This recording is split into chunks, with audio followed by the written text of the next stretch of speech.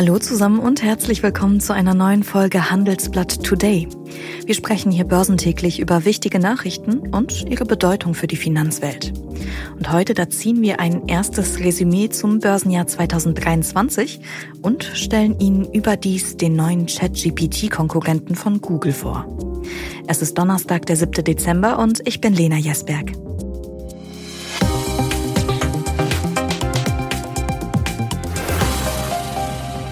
Langsam aber sicher neigt sich das Jahr dem Ende zu. Und 2023 war für die Börsen im Ergebnis, also wenn man sich die Entwicklung der großen Indizes anschaut, wohl ganz passabel.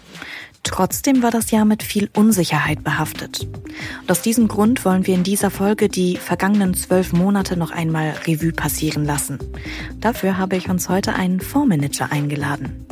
Marc Profitlich hat seinen Mischfonds, den er gemeinsam mit einem Partner pflegt, erfolgreich durchs Jahr manövriert. Und dabei hat er auch noch ordentlich was gelernt.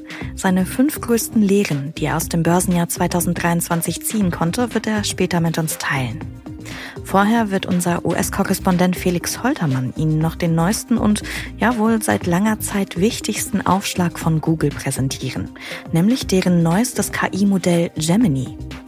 Wir schauen uns an, ob das für ChatGPT zur ernsthaften Konkurrenz werden kann und wie sich dadurch die Machtverhältnisse im KI-Wettstreit verschieben. Bevor wir in die USA schalten, schalten wir jetzt aber erstmal in unsere Frankfurter Finanzredaktion. Schließlich wollen wir auch wissen, was heute an den Märkten so los ist. Ich darf dafür meinen Kollegen Frank Wiebe begrüßen. Hallo. Hallo, grüß dich. Frank, der DAX, der ist, scheint heute fast ein bisschen lustlos, oder? Was ist da los? Ja, die Märkte sind allgemein etwas äh, schwächer. Der DAX hat ja gerade ein neues Rekordhoch hinter sich. Ähm, und äh, das ist jetzt einfach so eine, so eine Gegenbewegung auch. Äh, es gibt viele Analystenstimmen, die inzwischen auch gesagt haben, jetzt nicht nur bezogen auf den DAX, sondern auf die weltweiten Aktienkurse, dass die vielleicht schon zu hoch gelaufen sind. Das wird ja getrieben im Wesentlichen von Hoffnungen auf schnelle Zinssenkungen der äh, vor allen Dingen der US-Notenbank, aber auch der Europäischen Zentralbank, der EZB. Darauf haben auch schon die Anleiherenditen reagiert. Die sind deutlich niedriger geworden. Und dann ist es immer so, wenn die Anleiherenditen runtergehen, dann werden Aktien im Vergleich dazu interessanter und werden gekauft. Aber es gab eben immer wieder Warnungen nach dem Motto, also die Märkte laufen sich jetzt selber schon äh, weg sozusagen. Außerdem mhm. haben Ökonomen auch manchmal äh, auch gesagt, äh, was vielleicht noch zu wenig gesehen wird, ist, dass es eben immer noch Rezessionsgefahren gibt, weil die volle Wirkung der, der äh, Straffung der Geldpolitik der Notenbanken äh, noch gar nicht richtig angekommen ist in der Wirtschaft, weil viele Unternehmen zum Beispiel jetzt noch umschulden müssen äh, zu höheren Zinsen. Und deswegen ist das jetzt, glaube ich, auch sozusagen dieser Dämpfer, den man zurzeit spürt, eine ganz angemessene Reaktion. Irgendwo habe ich auch gelesen, dass Analysten gesagt haben, also das ist jetzt der Fair Value an den Aktienmärkten, also das, was eigentlich angemessen ist, aber eben auch nicht mehr. Das ist, glaube ich, das, was wir heute sehen. Da hast du die große Lage doch schon gut zusammengefasst. Lass uns äh, direkt auf die Einzelwerte gehen, würde ich sagen. Wir haben gestern hier im Podcast über Merck gesprochen. Da gab es einen zweistelligen Einbruch. Wie sieht's heute aus? Konnten die sich erholen? Ja, es ist eine, ist heute, also gerade als ich reingeschaut habe, war es sogar der beste DAX-Wert. Äh, ist eine kleine Erholung natürlich nur im Vergleich zu dem Absturz, den es gab. Und äh, das ist natürlich immer ein riesen Risiko für solche Pharmafirmen. Äh, mhm. Da werden große Summen in einzelne Medikamente gesteckt und wenn dann einzelne Studien eben negativ ausfallen, dann hat das große Auswirkungen. Aber jetzt scheint sich das so ein bisschen zu beruhigen, so dass die Kurse wieder etwas angezogen sind. Gut läuft es auch bei BASF. Da sind Umstrukturierungen geplant. Was kannst du uns dazu sagen? Ja, da geht es darum, dass man einzelne Betriebsteile äh, organisatorisch etwas weiter auslagern will. Da geht es um Chemie für, für die Agrarwirtschaft und Chemie für die Herstellung von Batterien. Das sind ja beides interessante Gebiete. Es sind insgesamt 2500 Mitarbeiter betroffen, was jetzt nicht im Vergleich zu, der, zu diesem Riesenkonzern nicht so wahnsinnig viel ist. Aber man muss eben sehen, BASF ist zeitweise nicht gut gelaufen in der letzten Zeit. Äh, erstens gilt es als, als ähm, konjunkturanfällig, also weil Deutschland jetzt nicht so eine tolle Konjunktur hat und auch die Weltkonjunktur mit Fragezeichen versehen ist, ist es teilweise schlecht gelaufen. Es ist äh, vor einiger Zeit auch schlecht gelaufen, weil BASF relativ stark auch von, von Energielieferungen aus Russland abhängig war. Das ist jetzt schon eine Weile her, aber das sind so Themen, die das Unternehmen gedrückt haben. Und jetzt bemüht man sich halt zu zeigen, äh, hier Investoren, wir denken an euch. Und Investoren mögen das immer, wenn solche Dinge organisatorisch ausgelagert werden, dann werden die Konzerne transparenter, dann gibt es eine kleine Fantasie, dass man vielleicht auch Teile gut verkaufen kann oder separat an die Börse geben kann. Solche Sachen spielen da im Hinterkopf eine Rolle. Und ich glaube, das ist das, was jetzt BASF versucht, um da wieder auf die Füße zu kommen an der Börse. Mhm. Zu guter Letzt, Frank, würde ich mit dir gerne noch über Adidas sprechen, denn nach einem Interview mit dem Handelsblatt steht die Aktie jetzt unter Druck. Ja, da sieht man leichten Druck auf Adidas. Ähm, der neue Chef äh, von Adidas äh, hat da viele interessante Dinge gesagt. Ähm, aber es ist teilweise läuft es in den Agenturen so nach dem Motto, also nicht gewinnen um jeden Preis. Äh, gemeint ist damit ganz klar, äh, wir wollen jetzt nicht kurzfristig den Gewinn hochpushen, sondern wir wollen eben langfristig denken, was ja eigentlich vernünftig ist. Aber es kann sein, dass teilweise dieses, äh, dieses Wording, wie es, wie es sich dann quasi auch so auf die Schnelle verbreitet hat, so schlachtzeilenmäßig verbreitet hat, äh, dass das dazu geführt hat, dass die Aktionäre gedacht haben, oh, ähm, der ist jetzt gar nicht so äh, das, was wir gedacht haben, dass er jetzt wirklich äh, Druck macht und, und auf die Schnelle mehr Gewinn erzielen will. Und deswegen steht die Aktie etwas unter Druck. Ich denke, das ist, ist eine Reaktion darauf. Frank, damit ganz herzlichen Dank. Immer gerne. Und auch heute geht wie immer an Sie der Hinweis, liebe Hörerinnen und Hörer, dass wir hier bei Handelsblatt Today ausdrücklich keine Anlageempfehlungen geben. Bedeutet, alles, was wir hier besprechen, dient ausschließlich Ihrer Information. Nach einer kurzen Unterbrechung geht es gleich weiter. Bleiben Sie dran. Zukunft ist, was wir daraus machen. Davon bin ich, Andrea Wasmuth, Geschäftsführerin der Handelsblatt Media Group, überzeugt. Und deswegen haben wir Pulse, das exklusive Wirtschaftsnetzwerk der Handelsblatt Media Group, gegründet. Mit Pulse wollen wir einflussreiche weibliche Köpfe vernetzen, um sich branchenübergreifend zu relevanten Wirtschafts- und Karrierethemen auszutauschen. Ich bin mir total sicher, durch einen offenen und vertrauensvollen Austausch schaffen wir es, den vielfältigen Herausforderungen unserer Zeit noch besser zu begegnen und die Zukunft gemeinsam positiv zu gestalten.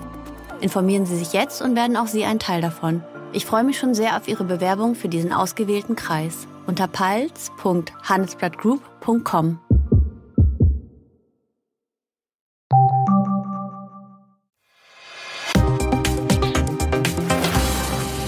Kommen wir jetzt zu Google und damit zu einem Unternehmen, das gestern ja viele KI-Fans in Aufregung versetzt haben dürfte.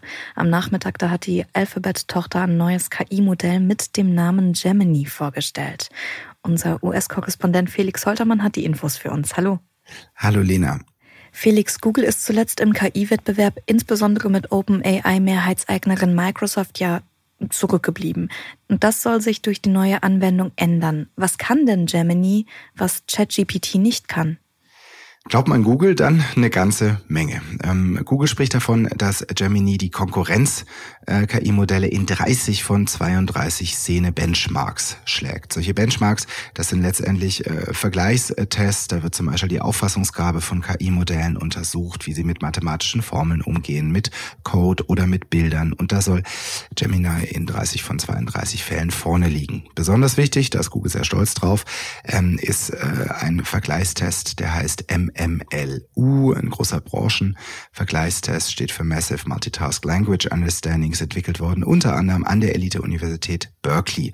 Und da äh, schneidet Gemini mit einem Wert von 90,0 Prozent ab. GPT-4, also das KI-Modell vom Microsoft-Partner OpenAI, liegt hier nur bei 86,4 Prozent. Soweit so gut, aber Achtung, wissen müssen wir, das sind Angaben von Google. Unabhängig überprüfen konnten wir das noch nicht, weder das Handelsblatt noch andere Medien. Das heißt, bisher müssen wir uns da auf die Aussagen von Google verlassen. Und wichtig ist auch zu wissen, diese besonders guten Vergleichsergebnisse von Gemini, die beziehen sich auf die Vollversion, Ultra genannt. Es gibt noch zwei abgespeckte Varianten und wie gut die sich dann schlagen, zum Beispiel im Vergleich mit GPT-4, das müssen wir erst noch sehen. Okay, das ist wichtig zu wissen. Also es sind Versprechen von Google selbst. Wann geht es äh, raus? Wann können wir das testen? Also seit dieser Woche ähm, wird der Google Chat äh, Roboter Bart durch erste ähm, äh, Gemini-Funktionen verbessert. Vollumfänglich ausgerollt werden soll es dann 2024 und leider, leider müssen sich alle in Europa und Großbritannien noch gedulden. Hm. Das äh, ist dort auch noch nicht erhältlich. Ähm, äh, das neue äh, KI-Modell beziehungsweise wird noch nicht eingesetzt. Das ist dann auch für Anfang nächsten Jahres zu erwarten. Okay. Das heißt aber auch, BART wird durch Gemini nicht ersetzt, sondern die beiden Anwendungen werden ineinander greifen, ja? Das ist ganz wichtig und das ist ähm, ja auch eine Frage, die immer ein bisschen durcheinander geht. BART ist letztendlich ein KI-Assistent oder ein KI-Chat-Programm, so wie das Chat-GPT von OpenAI ist. Und Gemini, das bezeichnet jetzt ein dahinterliegendes KI-Modell. Großes Sprachmodells, kann aber auch noch einiges mehr. Wir sprechen noch drüber. Ein bisschen ist es bei OpenAI genauso. Da haben wir ChatGPT. Das ist sozusagen die Box, mit der wir als Endkunden interagieren. Und das dahinterliegende Modell, das wiederum heißt GPT 3.5 oder GPT-4. Das ist aktuell das am weitesten entwickelte. Okay. Die Frage aller Fragen ist jetzt natürlich, kann Google denn damit den Rückstand in Sachen KI gegenüber Microsoft beispielsweise aufholen? Das ist tatsächlich die äh, eine Million Dollar Frage oder eher die eine Milliarde Dollar Frage oder mehr.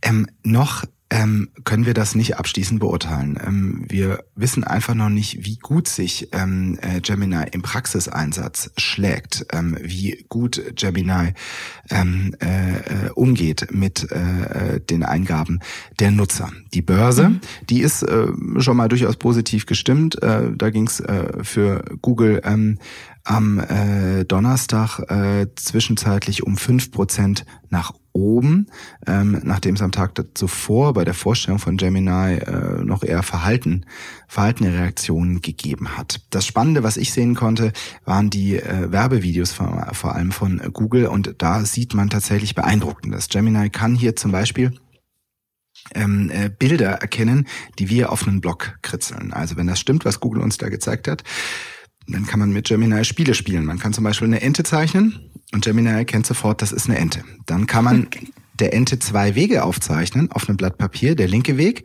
der führt in äh, einen Teich mit äh, anderen Enten. Der rechte Weg, der führt in einen Teich mit einem Krokodil. Und dann kann man Gemini fragen, was wäre denn jetzt besser für die Ente? Wo soll sie denn hinschwimmen? Und Gemini versteht das und sagt dann, hm, besser nach links, da sind Freunde, rechts, da ist äh, ein Feind. Das ist schon ziemlich weit, das ist beeindruckend. Das äh, kann äh, ChatGPT beziehungsweise das dahinterliegende Modell GPT-4 bisher nicht. Und wenn Google diese ganzen Versprechen wahrmacht, dann äh, kann das tatsächlich äh, dazu führen, dass das Unternehmen ähm, wieder nach vorne kommt im KI-Wettrennen, wo ja bisher, muss man so sagen, Microsoft und OpenAI äh, die Nase ein ganz, ganz weites Stück vorne haben. Ein sehr charmantes Beispiel auch mit den Enten. Das werde ich so schnell nicht vergessen. ähm, Felix, vergangene Woche hat ja auch Amazon Web Services erst ein Produkt mit generativer KI angekündigt oder mehrere sogar. Gestern dann ja recht überraschend Google. Erwartet uns jetzt so ein technologisches Wettrüsten? Ich glaube ja. Ähm, künstliche Intelligenz, äh, KI, ist äh, eine sehr, sehr wichtige Zukunftstechnologie, vor allem für die großen Software, für die großen Technologiekonzerne. Ähm, der Google-Chef äh, Sundar Pichai, der hat sein Unternehmen jetzt ja schon zur AI First Company erklärt, also ein Unternehmen, das die KI-Entwicklung priorisiert. Microsoft baut äh, GPT äh, Anwendungen schon breitflächig in seine Produkte ein mit dem sogenannten Co-Piloten. Das ist ein Programm, was uns zum Beispiel in Windows, in Microsoft Office helfen soll, zum Beispiel bei der Textverarbeitung, zum Beispiel in Excel und anderen Anwendungen und auch Amazon AWS ähm, äh, will da nicht hinten dran stehen. Wir sehen aber auch tatsächlich, wie schwierig es ist, sich ähm, im KI-Umfeld ähm, äh, als Qualitätslieferant zu etablieren. Amazon hat äh, Q vorgestellt, äh, einen Chatbot, der sich anders als ChatGPT von Microsoft beziehungsweise OpenAI und anders als BART von Google an Geschäftskunden ausschließlich richtet. Ja, und kurz nach der Vorstellung äh, in der vergangenen Woche, da haben sich Programmierer im Internet bitterlich beschwert. Zum Beispiel dafür, dass Q stark halluziniert und dass Q nicht verlässlich mit vertraulichen Kundendaten umgeht. Und das ist tatsächlich ja die größte Gefahr bei neuen KI-Anwendungen, dass wir hier eine wirklich gravierende Fehlfunktion sehen. Ähm, ein Skandal, ähm, äh, you name it. Und da wird auch Google sehr stark hinterher sein, dass ihnen das mit Gemini nicht passiert. Ja, wir sind gespannt, wie sich das alles noch entwickelt. Dir erstmal vielen Dank fürs Gespräch. Vielen Dank, Lena. Und falls Sie, liebe Hörerinnen und Hörer, Neuigkeiten wie diese in Zukunft nicht verpassen möchten, dann ist vielleicht unser Abo was für Sie. Das können Sie vier Wochen lang für einen Euro testen, und zwar unter handelsblatt.com-mehr Finanzen. Und den Artikel von Felix, passend zum Thema, den verlinke ich Ihnen auch nochmal in der Folgenbeschreibung. Und jetzt wird es Zeit, ein paar Lehren aus dem Börsenjahr 2023 zu ziehen. Ich begrüße dafür ganz herzlich Marc Profitlich vom Fondsberater Profitlich Schmidlin. Hallo. Hallo, Frau Esberg. Herzlichen Dank. Sehr gerne, Herr Profitlich. Mm, wenn Sie heute auf das Jahr zurückblicken und es in einem Satz beschreiben müssten, aus Sicht eines Anlegers, eines Fondsmanagers, was fällt Ihnen da als erstes ein? Ähm, ja, die Niedrigzinsphase, die liegt hinter uns. Aber ich glaube, in der normalen Welt sind wir noch nicht angekommen. Wir sind jetzt eher in einer Phase von volatilen Zinsen. Mhm. Auch der Niedrigzinsphase ist eine Phase von volatilen Zinsen geworden. Sie sind aber insgesamt zufrieden mit der Performance Ihres Fonds bis heute, ja? Ähm, ja, eigentlich sehr. Ähm, die Verluste aus dem letzten Jahr waren zwar schmerzhaft, aber sind in diesem Jahr äh, wieder voll aufgeholt worden. Von daher ähm, sind wir damit sehr zufrieden. Sehr schön. Das Ende der Niedrigzinsphase, Sie haben es schon angesprochen, das hat, ähm, denke ich, einiges an Unsicherheit in den Markt gebracht. Auch da ja die Anleiherenditen stark gestiegen sind. Wir erinnern uns, die Rendite der zehnjährigen US-Staatsanleihe zum Beispiel, die war Ende Oktober auf bis zu fünf Prozent und damit auf den höchsten Stand seit 16 Jahren geklettert. Haben Sie vor diesem Hintergrund umgeschwenkt und Anleihen verstärkt in Ihre Strategie mit einbezogen?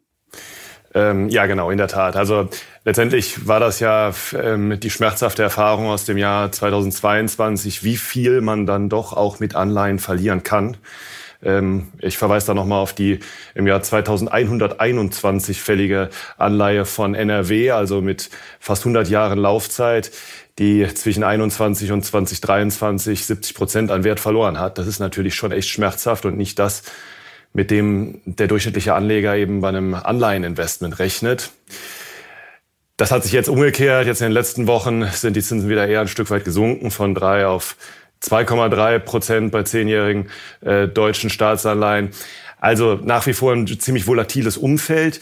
Wir halten uns grundsätzlich bei Investitionen in Anleihen eher am kurzen Ende der Laufzeitstruktur auf. Das heißt, wir fokussieren uns, uns, uns auf Anleihen mit, ich sag mal, ein bis drei Jahren Laufzeit. Und der Vorteil ist hier einfach, in diesem Bereich hat man es mit viel weniger Zinssensitivität zu tun, sprich diese Anleihen verlieren bei steigenden Zinsen weniger an Wert, ganz einfach, weil die Restlaufzeit ähm, so kurz ist. Mhm. Und genau das ist der Bereich, auf den wir uns hier fokussieren. Und da haben wir auch dann die Quote an Anleihen, Sondersituationen, wie wir es bei uns im Portfolio nennen, von 10 auf 25 Prozent recht deutlich im Verlauf der letzten Monate ausgebaut. Ich habe mal eine kleine Umfrage mitgebracht von der ähm, Bank of America. Demnach glauben 61 Prozent der Profi-Anleger und damit so viele wie noch nie, dass die Anleihekurse im nächsten Jahr weiter steigen und im Umkehrschluss die Renditen sinken werden. Wie sieht's bei Ihnen aus? Gehören Sie zu diesen 61 Prozent oder positionieren Sie sich anders? Ja, ist eine interessante Frage. Und in der Tat ist ja das auch genau, was die Anleihenmärkte im Moment einpreisen mit dieser inversen Zinsstrukturkurve, wo quasi am kurzen Laufzeitende, mit einer kurzen Laufzeit, die Zinsen höher sind als äh, bei längeren Laufzeiten. Das ist also in der Tat genau das, diese Umfrage stellt genau das dar, was die Anleihenmärkte eigentlich einpreisen. Für uns spielt das aber gar nicht so eine große Rolle, weil wir, wie gesagt, eben uns grundsätzlich bei äh, kurzer laufenden Anleihen ähm, positionieren und deswegen Zinsveränderungen ähm, für uns auch wirklich eine untergeordnete Rolle spielen. Hm.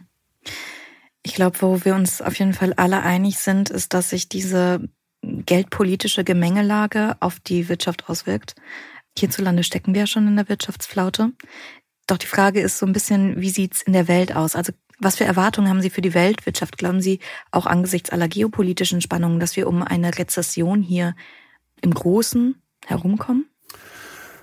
Ja, also erstmal geopolitisch passiert ja einiges und ich glaube, das ganz überwiegende Thema ist eigentlich äh, die Beziehung zwischen den USA und China und damit einhergehen natürlich so ein Stück weit das Zurückdrehen der Globalisierung, ähm, was unheimlich viele Folgen auch hat.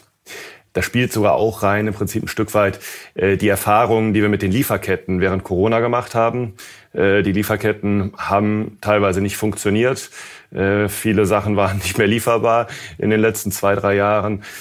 Und deswegen wird auch einfach viel Produktion von Asien eher wieder dahin gebracht, wo konsumiert wird. Mhm. Und das ist natürlich durchaus auch ein Treiber für Investitionen und für Wachstum in diesen Regionen, sprich für ähm, Investitionen in Fabriken, Chipfabriken, äh, andere Fertigungen. Man spricht hier von Nearshoring, also Offshoring. Äh, das hatten wir jetzt in den 90ern und Anfang der 2000er. Jetzt machen wir wieder Nearshoring. Und das ist natürlich eine Entwicklung, die schon durchaus wachstumsfördernd ist. Auf der anderen Seite äh, hat man natürlich gerade mit dem Konflikt im Nahen Osten durchaus wirklich Risikofaktoren, auch wieder mit Hinblick auf die Energiepreise, äh, die schon auch auf der Wirtschaft lasten könnten. Das ist ganz spannend. Damit haben Sie schon ganz viel Wichtiges angesprochen, was gerade in der Welt los ist. Aber neben diesen geopolitischen Risiken gibt es ja noch mehr. Wir sehen ähm, gigantische Schuldenberge in einigen Ländern. Wir sehen eine ausgeprägte Wachstumsschwäche. Das ist einfach das Gemisch, das die Finanzmärkte aktuell in Alarmstimmung versetzt. Welche Länder explizit, welche Wirtschaftsregionen gewinnen denn aus Ihrer Sicht vor diesem Hintergrund an Relevanz? Welche verlieren vielleicht an eben dieser? Ja, also ganz grundsätzlich, wir fokussieren uns in unserer Arbeit auf Nordamerika und Europa. Ähm, das Thema China und Asien insgesamt ist immer eins, was sehr, sehr viel betrachtet wird. Wir denken, dass gerade diese Deglobalisierung, das Nearshoring eher für Märkte wie Mexiko oder Osteuropa sprechen könnte, ähm, eben als für ein Direktinvestment in China. Das heißt, Mexiko insbesondere profitiert davon, dass die USA und China sich vielleicht nicht so grün sind gerade.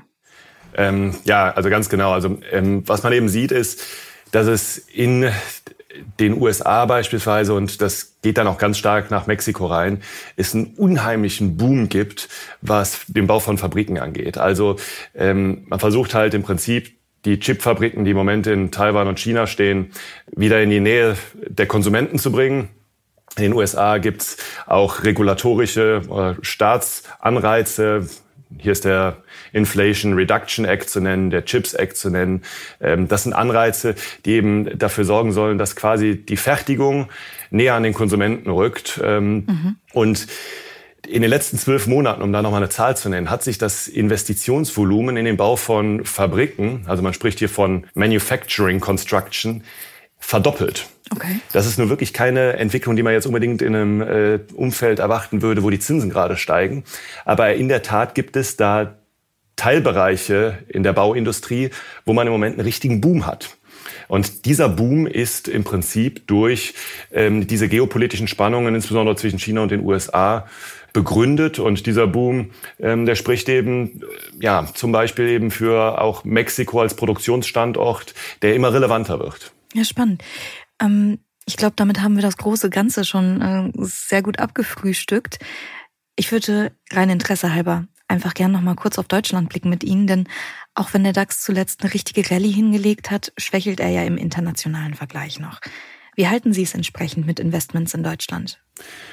Ähm, grundsätzlich versuchen wir ein ausgewogenes Portfolio zusammenzustellen. Ähm, das heißt, wir investieren nicht nur in Deutschland, aber auch ein Unternehmen, was wir jetzt hier, in, in, in dem wir in Deutschland beteiligt waren, ist die EQS Group, ein Anbieter von ähm, Regulierungssoftware, kann man sagen, Hinweisgebersystemen, ähm, die ja vom Regulator äh, quasi eingeführt werden müssen. Ähm, da gibt es ja dieses neue Hinweisgeberschutzgesetz und das ist etwas, wo dieses Unternehmen direkt ganz unmittelbar von profitierte. Das Unternehmen hat jetzt in den letzten Monaten profitiert von einem Übernahmeangebot. Also was wir machen, ähm, darauf läuft das jetzt hier schon hinaus, ist, wir, wir gucken uns ganz ähm, speziell einzelne Unternehmen an und nicht den, den Markt in der Breite. Mhm. Wir versuchen gute Geschäftsmodelle zu identifizieren und ähm, die finden wir definitiv auch in Deutschland, das ist ganz klar. Das ist doch mal ein schönes Statement. Dann lassen Sie uns mal, Herr Profitlich, auf einzelne Branchen schauen. Ich glaube, das Comeback des Jahres, das hatten wohl die Tech-Werte. Nicht zuletzt natürlich dank des Hypes um künstliche Intelligenz. Was nehmen Sie aus dieser Entwicklung für sich, für Ihre Investmentstrategie mit? Ja, also im letzten Jahr waren ja im Prinzip die Tech-Werte die großen Verlierer. In diesem Jahr ist es so, dass die großen sieben, die großen sieben im Wesentlichen ja Tech-Werte, im S&P 500 für etwa 70 Prozent der Kursgewinne stehen, während die übrigen 493 Unternehmen im S&P 500 mehr oder weniger unverändert sind. Also eine unglaubliche Schere, die sich hier ausgebildet hat. Ähm, es ist ganz klar, die Tech-Werte sind zurück. Ähm, AI ist im Moment ja so das Hype-Thema, wo man viel in der Presse auch drüber liest. Und was man auch einfach klar sagen muss, das war eigentlich auch letztes Jahr schon klar, die Digitalisierung ist nicht zu Ende. Ähm, diese Unternehmen profitieren natürlich nach wie vor auch von den zugrunde liegenden Wachstumstreibern. Microsoft wächst im laufenden Geschäftsjahr ähm, beim Umsatz um 15 Prozent und beim Gewinn je Aktie um 30 Prozent. Das sind schon wirklich eindrucksvolle Zahlen für ein Unternehmen äh, dieser Größe. Also ganz klar ein Learning. Ähm, die Digitalisierung ist nicht zu Ende. Aber ich denke, was man auch sagen kann, in diesem Jahr äh, günstiger sind Tech-Werte dieses Jahr nicht geworden, sondern eher teurer. Mhm. Nach einer kurzen Unterbrechung geht es gleich weiter. Bleiben Sie dran. Sie alle kennen die großen Herausforderungen unserer Zeit. Von Fachkräftemangel bis KI, von Leadership bis Klimaschutz. Was aber oft zu kurz kommt, ist der Blick auf die Menschen auf die Menschen, die sich diesen Herausforderungen Tag für Tag stellen. Ich bin Kirsten Ludowig, ich bin Vizechefin beim Handelsblatt und werde Ihnen genau diese Perspektive geben. Empathisch, vielseitig und überraschend. Alle zwei Wochen in Impuls, dem neuen Newsletter des exklusiven Frauennetzwerks Pulse von der Handelsblatt Media Group. Sie möchten jeden zweiten Samstag dabei sein? Dann abonnieren Sie jetzt den Newsletter unter handelsblatt.com slash impuls. Ich freue mich auf Sie. Liegt wahrscheinlich auch daran, weil einfach super viel Fantasie gerade im Markt ist, viel Euphorie. Also ich glaube, man muss sich da nur mal den Nvidia-Kurs anschauen, um zu sehen, wie viel Luft da nach oben war. Sind denn losgelöst jetzt von Einzelwerten, sondern so mit dem Gesamtblick, sind die Bewertungen Ihrer Ansicht nach hier noch gerechtfertigt in dem Bereich? Ähm, ja, ist eine interessante Frage. Also ich glaube, im letzten Jahr hatten wir gerade bei den Tech-Werten durchaus eine Übertreibung nach unten. Zumindest äh, bei einigen der großen Tech-Werte. Insofern ist das jetzt auch nicht komplett irrational, was dann da in diesem Jahr passiert ist. Aber was eigentlich interessanter ist, ist, ähm, wenn wir jetzt mal in die Breite der Aktienmärkte schauen, was sich da teilweise für eine Schere aufgetan hat. Ähm, nicht nur zwischen Tech-Werte und Nicht-Tech-Werte, sondern auch wenn man zum Beispiel in die zweite Reihe schaut, ähm, ein MDAX, ein SDAX, die haben sich wirklich ganz mies entwickelt. In den USA ist es ganz ähnlich. Da gibt's hinter dem S&P 500 den sogenannten S&P 600 mit Unternehmen mit einer Größe von bis zu 5 Milliarden US-Dollar. Und diese Unternehmen sind im Vergleich zu den größeren Unternehmen im S&P 500 äh, im Moment so günstig wie seit der Jahrtausendwende nicht mehr. Also kleine, mittelgroße Unternehmen, das lässt sich aufgrund von verschiedenen Indikatoren empirisch belegen, sind in den USA, aber das ist gleichermaßen auch in Europa der Fall, deutlich günstiger geworden. Und das ist an sich eine, eine ganz interessante Betrachtung, denn das ist genau das, was natürlich dann auch ähm, wieder zu Übernahmeaktivitäten führen könnte, ähm, wenn kleine, mittelgroße Unternehmen deutlich an äh, Bewertung einbüßen. Dann schauen da natürlich die Großen hin. Und das ist eben, wie gesagt, wie erwähnt, ähm, auch bei diesem Unternehmen der EQS Group aus München äh, genau der Fall gewesen. Eigentlich ein vergleichsweise kleines äh, Softwareunternehmen, was ich eben erwähnt hatte, ähm, was dann in den Blick von Beteiligungsinvestoren mhm. gerückt ist, von Private Equity Fonds und jetzt von der Börse genommen wird. Höre ich da losgelöst von der Tech-Branche schon Learning, ein weiteres Learning raus mit Blick auf Small Caps, Mid Caps, Large Caps? Ja, das, das, das Witzige und Interessante ist ja eigentlich, im letzten Jahr ähm, ist man besser gefahren mit, ähm, wenn, man, wenn man weniger von den Tech-Werten im Portfolio hat oder weniger von den Mega-Caps. Den ganz großen Unternehmen. Und in diesem Jahr war es jetzt wieder umgekehrt. Aber ich glaube, das Learning ist einfach ähm, eine ausgewogene Allokation, mhm. ist äh, immer vernünftig gewesen. Sprich, ähm, über verschiedene Marktkapitalisierungen zu diversifizieren, nicht nur in die größten Unternehmen der Welt zu investieren, auch wenn das natürlich auch die liquidesten Unternehmen sind, sondern eben auch äh, vielleicht in der zweiten Reihe äh, einen Blick drauf werfen. Und ähm, wenn man die Marktkapitalisierung von den DAX-Unternehmen betrachtet, dann sind die im internationalen Vergleich teilweise ja auch zweite Reihe. Ähm, aber genau, darum geht's. Also letztendlich eine ausgewogene Positionierung anzustreben. Das hätte sich im letzten Jahr ausgezahlt und ähm, könnte sich auch in den nächsten Jahren wieder auszahlen, ähm, nicht zu einseitig zu positioniert zu sein. Und Diversifikation auf allen Ebenen. Ich möchte noch einmal ganz kurz den Bogen zurückspannen zu Tech, zu künstlicher Intelligenz, denn mir ist gerade nicht entgangen, dass Sie ähm, KI als Hype bezeichnet haben. Hype klingt immer so, als sei etwas sehr temporär. Ja, also das stimmt. Ich glaube, das Thema, äh, das Thema AI, das das wird bleiben, ganz klar. Aber die Bewertungen in einigen Bereichen ähm, haben dann schon zugenommen. Also ich hatte es äh, eben nicht erwähnt, aber äh, die Microsoft-Aktie, dieser tolle Umsatz- und Gewinnentwicklung, die ist auch davon begleitet worden, dass hier allein im letzten Jahr äh, der Gewinnmultiplikator von ungefähr 18 auf nahe 30 oder um die 30 angestiegen ist. Das ist auch einfach ein, ein, ein sehr ordentlicher Anstieg der Bewertungsindikatoren, der nicht im gleichen Maße in diesem Jahr und sehr wahrscheinlich auch im nächsten Jahr äh, von einer entsprechenden Gewinnentwicklung begleitet wird. Ja. Mhm. Und insofern äh, muss man dann da schon ein bisschen aufpassen. Und äh, Sie hatten jetzt Nvidia angesprochen. Ich kenne das Unternehmen nicht in der Tiefe, aber die Kursentwicklung äh, wird jetzt zumindest kurzfristig sicherlich nicht von einer äh, Gewinnentwicklung im gleichen Maße begleitet werden. Und das da muss man natürlich dann, wenn es dann zu einer Abkopplung zwischen der fundamentalen Entwicklung und der Kursentwicklung kommt, muss man immer zweimal hinschauen. Ja, ich glaube, diese Einordnung war nochmal sehr nötig. Lassen Sie uns zum Abschluss nochmal die Branche wechseln, die Sparte wechseln, denn ganz starke Nerven brauchten in diesem Jahr äh, ja auch Anleger, die zum Beispiel im Rahmen bekannter ETFs auf Clean Energy gesetzt haben. Da ging es im Kurs um teilweise mehr als 30 Prozent bergab. Dabei sollte man ja eigentlich meinen, dieser Tage, wo der Klimawandel immer präsenter wird, gewinne das Thema Nachhaltigkeit an Bedeutung und damit halt auch an Wert. Was haben Sie 2023 bei diesem Thema für sich mitgenommen? Ja, also wir hätten ja das gleiche Gespräch auch schon 2007 oder 2008 haben können. äh, nicht nur, weil damals Clean Energy auch schon eine Rolle gespielt hat. Damals sah es halt so aus, dass äh, der, an, dem, an der Börse eine Solaraktie nach der anderen neu an die Börse gekommen ist. Der Ökodax wurde 2007 aufgelegt, 2021 dann eingestellt. Und viele dieser Solarunternehmen, die dann damals an die Börse gegangen sind, sind heute pleite, allen voran Solar World. Und das ist eben natürlich, ist auch, äh, spannt auch den Bogen wieder zu KI, denn das war damals das Halbthema. Solaraktien, mhm. ja. Also ESG, ähm, Nachhaltigkeit ist aus unserer Sicht ähm, nicht nur nötig, sondern auch ähm, natürlich ein interessanter Wachstumstreiber für viele Unternehmen, die davon profitieren. Ganz klar. Aber ähm, man muss halt ganz genau hinschauen, ähm, wie im Übrigen immer, wie ist die Qualität der Geschäftsmodelle? Und hier ist es dann natürlich einfach so, dass Unternehmen äh, wie Solarhersteller, aber auch Unternehmen, die Windkraftanlagen herstellen beispielsweise, eine Siemens Gamesa in diesem Jahr als einer der größten Verlierer, eben von einem kompetitiven Umfeld geprägt sind, von niedrigen Wettbewerbsvorteilen geprägt sind und dann trotz dieses offensichtlichen Wachstums in diesem Bereich gar nicht zu den Gewinnern zählen.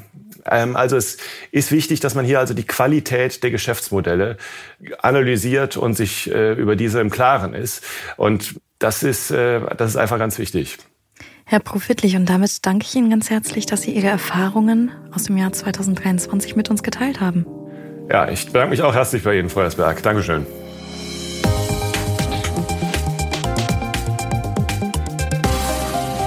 So, und nun interessiert uns abschließend natürlich noch brennend, welche Learnings Sie daheim aus dem Börsenjahr 2023 mitgenommen haben. Was haben Sie die vergangenen zwölf Monate in Sachen Geldanlage gelernt? Wenn Sie Lust haben, das mit uns zu teilen, dann schreiben Sie uns gern an today@handelsblatt.com. Unser Redaktionsschluss war auch heute um 16 Uhr und produziert hat diese Folge mein Kollege Christian Heinemann. Liebe Hörerinnen und Hörer, zum Schluss bleibt mir noch Ihnen Danke zu sagen. Danke dafür, dass Sie wieder mit dabei waren und machen Sie es gut.